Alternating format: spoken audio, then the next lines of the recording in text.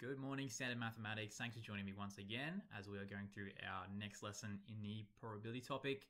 To start us off, here is a warm up flashback question. This is from the 2013 Standard Maths HSC paper. It was the first question.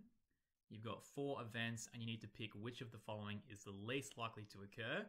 Could you please pause the video and um, try and figure out which of the four is least likely? All right, so easiest way to handle this one is just by quickly calculating the four probabilities and just seeing which one is the smallest. So if we start with the first one, tossing a fair coin and getting heads, well, that's an easy one. That's a half chance. And I'm going to write that as a decimal, 0.5. Okay, you'll, you'll see why at the end why I'm using decimals for these. Next one, rolling a standard six-sided die and obtaining a three. Well, that is one of these six faces. So your probability would be one out of six. Uh, but we're going to use that as a decimal, which is 0.16666 repeated. That's what that little dot above the six means. It means repeating sixes. Okay, so the way you can get that is on your calculator, you can type in 1 over 6 and press the equals button, and it should give you this decimal, okay? For the next one, selecting G from the alphabet. So G is one of the 26 letters, so the probability is 1 out of 26, which as a decimal looks like this. 0.038, and then a few more decimals. All right, and the last one, winning first prize in a raffle of 100 tickets, and you have four of the tickets. All right, so you've got a four out of 100 chance. Okay, four of the tickets out of 100 are yours.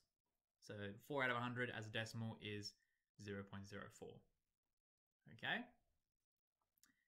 Now that you have all those, you can see you got 50% here, about 16, 17% here, You've got 4% here, and this is a bit less than 4%. So C is the least likely. All right, so today's lesson is focusing on ranges of probability, so types of answers you can expect and how we can use those facts to uncomplicate some questions, I would say. We're going to start off with the key points of the lesson. So, all probabilities are always going to range from zero, which represents impossible, to one being certain, okay? Whenever you calculate a probability in this topic, if you get an answer that's not between zero and one, you've probably done something incorrect and you might have to go through again and see what that is. Okay, so it's kind of a spectrum of probability from zero to one, which is why we're always using fractions or decimals or percentages because they're easy ways of representing numbers between zero and one.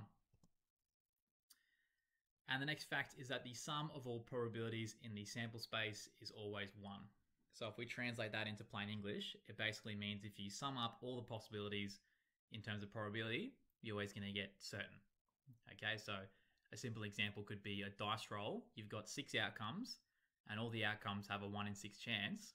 And so when you add those up, 1 6 plus 1 6, if you do that six times, you get 6 6, which is 1. Okay, so the probabilities of all your options should always plus together to give you one because that's a certainty. Okay. So we're going to apply this with our first example. We have a bag of clothing containing shirts, scarves, and socks. So we got three outcomes, shirts, scarves, and socks. The chances of picking out a shirt are 3 in 10, but the chances of picking out a sock is 1 in 3. Okay, find the probability of picking a shirt or a sock. Okay. So if you told me there was a one in six chance, if, we, are talking about a, a, dice roll again for a simple example, if you told me there is a one in six chance of rolling a two, and there's a one in six chance of rolling a five, what are the chances you roll a two or a five? Well, that's two out of six. It's the one six plus the one six. Okay. So sometimes in probability, when you want to find the probability of this or this, quite often you can just do this plus this. Okay, so if we, if we want to find the probability of getting a shirt or a sock, we can just do the probability of the shirt plus with the probability of the sock. Okay, so we can just do 3 tenths plus 1 third. On our calculator, it'll tell us it is 19 out of 30. Okay, so this is the probability of getting either a shirt or a sock. These two individually together makes 19 out of 30. Okay, and now for part B, we're finding the probability of picking a scarf. So to answer this, we're going to use the fact that all the probabilities in the sample space, our three options, all add together to give 1. Okay, so shirt or sock or scarf is a certainty. That's why it's 100% or 1. Okay, we know the probability of the shirt, we know the probability of the sock, so we can put those in there. So we've got 3 tenths plus 1 third plus our unknown, probability of a scarf equals 1. In part A, we already did the 3 tenths plus the 1 third, that was 19 over 30. And now you've got to say to yourself, what sort of completes this pattern? All right, what goes with 19 over 30 plusing to give 1? If you're good with your fractions, you can see straight away that this needs to be 11 out of 30. Or maybe you prefer equations and you can take the 19 over 30 and subtract it from the other side. Okay, either way, you should get 11 over 30 as your answer. Okay, the reason that works is because 11 over 30 plus 3 over 10 plus 1 over 3 equals 1. Okay, the three options always sum together to give a certain. Okay? If there's any questions about that, please let me know, because some people do find that a bit confusing at first. But if that makes sense, we can try another one. All right, this one we have a stack of Uno cards, which of course are always red, blue, green, or yellow. We're ignoring the, the wild cards for now, I suppose. And a card is drawn at random. The probability of a red is 0.15 or 15%. Probability of blue is 40% and probability of green is 1 out of 10, which would be 10%.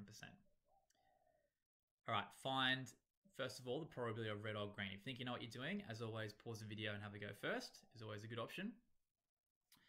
But let's work through them, okay? Probability of red or green. If we use the trick from the last one, we can do probability of red plus with probability of green.